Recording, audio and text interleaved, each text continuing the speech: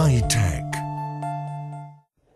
Sepios, a four-finned omnidirectional robot built by students at ETH Zurich, could inspire a new generation of eco-friendly aquatic androids.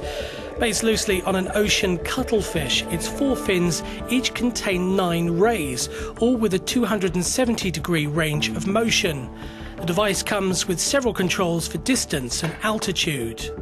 So we are using this space mouse and we can use it to move around in six degree of freedom in space. So if we want to dive down, we need the two fins on the side to flap up and do a standing wave to dive down. So we just press the space mouse down and as you can see, we're diving down.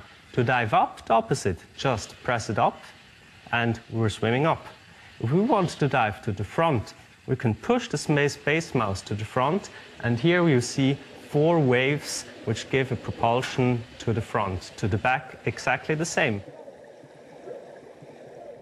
By generating thrust with the fins, a variety of acrobatic motions, such as barrel rolls, are possible.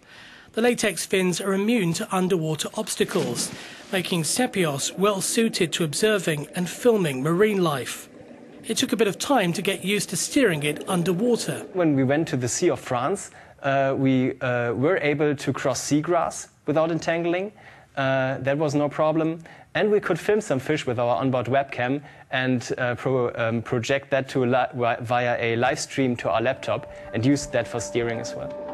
Sepios could also be used in underwater pipeline, as well as sea life and fauna research.